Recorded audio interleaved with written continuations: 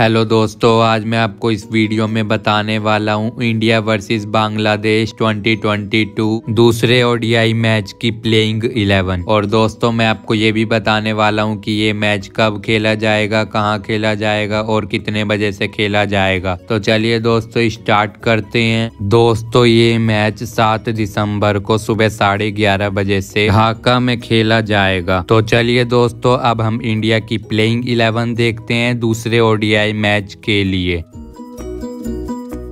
रोहित शर्मा, शिखर धवन, विराट कोहली, श्रेयस अय्यर, के L Rahul, Washington सुंदर, शहबाज अहमद, दीपक चहर। शार्दुल ठाकुर। मोहम्मद सिराज।